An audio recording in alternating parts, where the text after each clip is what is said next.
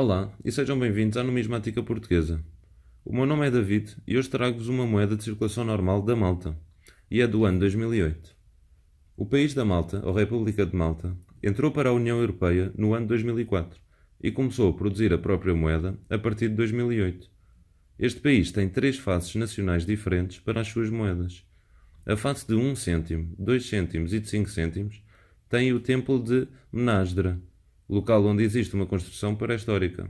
Esta construção foi aprovada pelo Unesco em 1992 como Património Mundial. A face, a face nacional de 10 cêntimos, 20 cêntimos e de 50 cêntimos tem o brasão da República da Malta. E a face nacional das moedas de 1 euro e de 2 euros é a cruz maltesa, que está relacionada com a Ordem dos Cavaleiros de Malta. Mais tarde farei um vídeo também dessas moedas. No anverso desta moeda podemos ver o valor facial,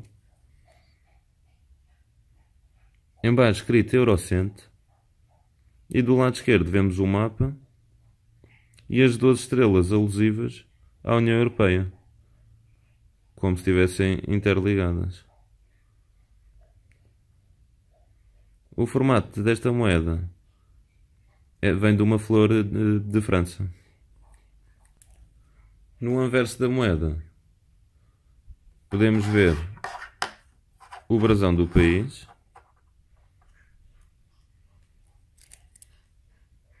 Vemos também Malta e vemos escrito o ano do lado direito, 2008. À volta temos as 12 estrelas alusivas à União Europeia. Já sabem, se gostaram, façam um like e deixem o vosso comentário. Até à próxima.